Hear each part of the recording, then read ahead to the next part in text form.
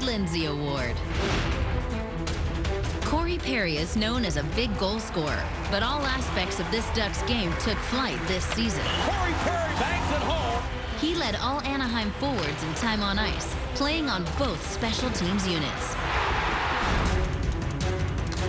This season, Daniel Sedin became the fifth Canuck ever to hit the 100-point mark as he set career highs in goals, assists, and points, and won the Art Ross Trophy.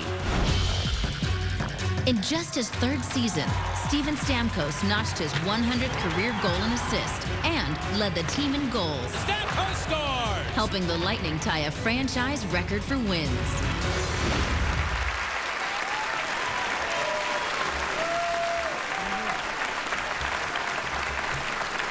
And, and the Ted Lindsay Award goes to, get this out of here, Daniel Sedin.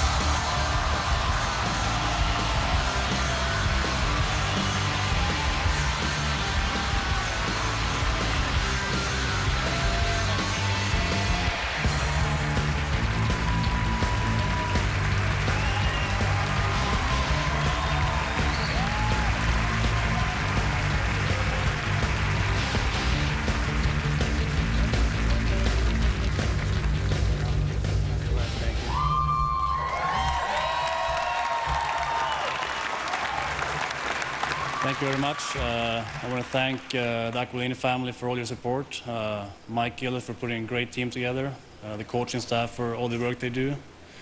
Uh, we've got the best trainers in the world. I want to thank them too. Uh, obviously, my teammates. Like I said, I wouldn't be here without them. I want to thank the fans in Vancouver.